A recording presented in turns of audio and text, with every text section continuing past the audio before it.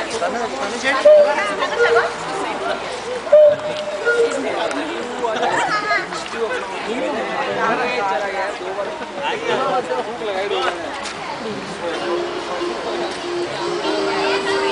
아가리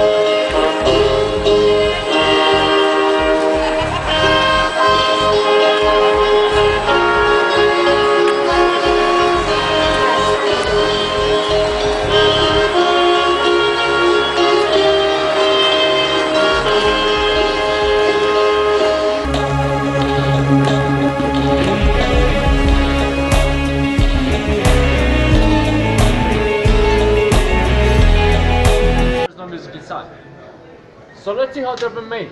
First we need wood. Wood we use it's called lime wood or maybe know it as a basswood. It's very soft, very good for carving.